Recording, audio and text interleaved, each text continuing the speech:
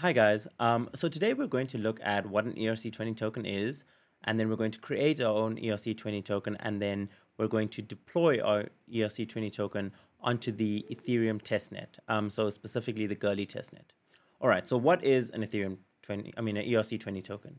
Essentially, a ERC20 token is just a token which has got specific functions set out by the ERC20 standard. So if we refer to this document over here, it just shows what the functions are that need to be present in an ERC20 token and then the events. So specifically, it needs to have a name function, which returns the token's name, then a symbol function, which returns the symbol token, I mean the token symbol, then the decimal, so how many decimal places the tokens the token will use, the total supply, so how many tokens there are in total, uh, the balance of, so how many tokens a specific account has, then a transfer function to transfer tokens from someone to someone else, transfer from, approve, and allowance. All right. So if our function has got all, if our token has got all of this, then it is an ERC20 token. Awesome. All right, now let's go ahead and create our own ERC20 token. So we're going to go ahead and use Remix. So in your browser, you can just type Remix Ethereum, and then we're going to use this one, remix.ethereum.org. All right. So Remix is essentially an Ethereum development environment um, where you can write your Solidity code and you can test it. Now, the cool thing with Ether um, with Remix is that it actually connects to a node. Uh, so Ethereum node, meaning you can deploy a smart contract directly from Remix onto the Ethereum mainnet, which is pretty cool. All right, so we're going to go ahead and create a new file. So it's going to be the basic template, and then the workspace name is going to be, I'm really obsessed with uh, Naruto, the anime. So we're going to go ahead and call this Itachi token. He is my favorite character from the series. Um, pretty much everyone's favorite character. All right, so the basic layout has already given us some contracts, some scripts, um, and some tests. We're going to go ahead and just create a new one. So create new, and then we're going to call it Itachi token.sol. Awesome. All right. So the first thing we need to do is write the license under which we will be deploying the smart contract. So you can write SPDX license identifier and then MIT. So MIT is an open source um, contract, meaning anyone can use this code or edit it or whatever. All right. Then the next thing we're going to do is write the Solidity, the Solidity version. So if we go on the left here, we'll see Solidity compiler. And then this is the compiler version that we'll be using. So the latest one. So 0.8.24. All right. So we're going to write pragma solidity um, 0.8.24. Awesome. All right. Now, remember those functions that we just described uh, that you need to add in order to be ERC20 compliant?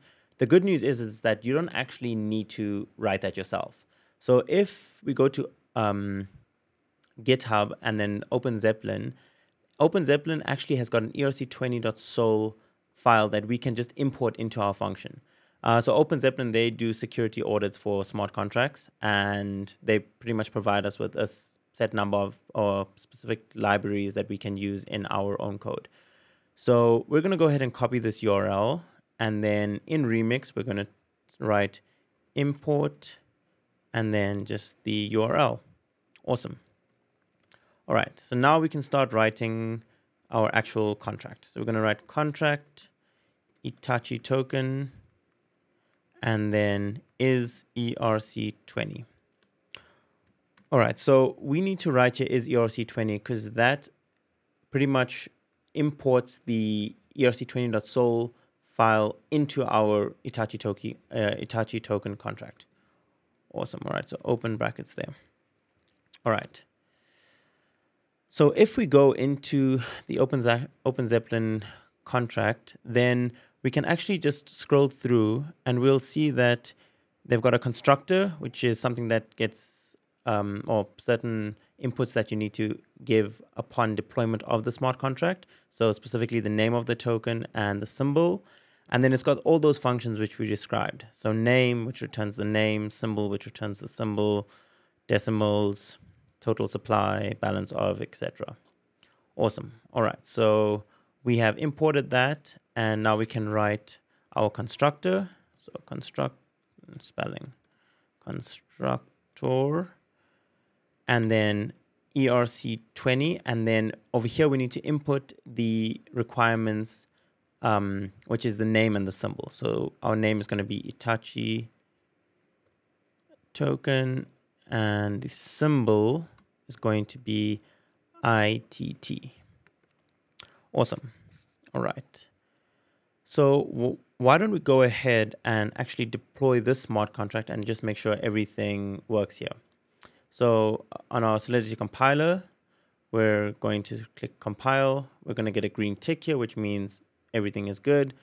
Then we're going to go to deploy. On the environment, we're just going to deploy onto a Remix virtual machine. Um, this is um, essentially just a local blockchain that runs on your PC. Uh, this allows you to test um, very quickly. Then they give us a certain number of accounts with Ethereum in them. This is obviously fake Ether. Um, all right, so under contract, click Itachi token, and then let's deploy it. Awesome. So we got the green tick.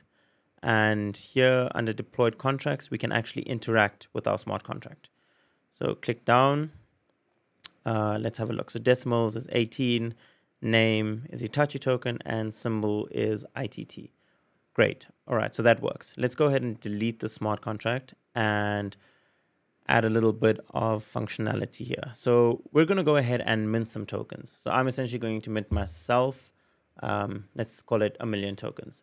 So if we go to the ERC20.sol file over here and go down to the mint function, all right, so function mint. So we can essentially mint tokens to the specified account and of a certain value, so a certain number of tokens. So over here, we're going to write underscore mint. And then the first one was the account. So we're just going to copy our first account here. Copy paste. And then the next one is the number of tokens we want to mint. Now, the thing with tokens is that I can't send someone 0.1 of a token. You can only send a full token. So what they've done is they've essentially times the number of tokens that you want to mint by 18 decimals in this place. So 18 zeros after however many you want. Um, that essentially gives the effect of being able to transfer decimals, right? I think that makes sense. Should make sense. Cool. Let's check. All right. So we're going to go one, one, two, three, one, two, three. So a million and then times 10 to the power of 18. Awesome. All right. So let's go ahead and compile the smart contract and then deploy it the same way we did earlier.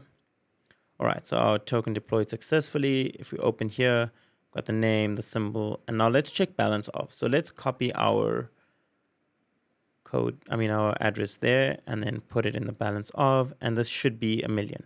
Awesome. All right, so a million and then 18 zeros thereafter. Great. Okay, so now we've successfully created an ERC20 token and we've successfully deployed it onto our virtual machine.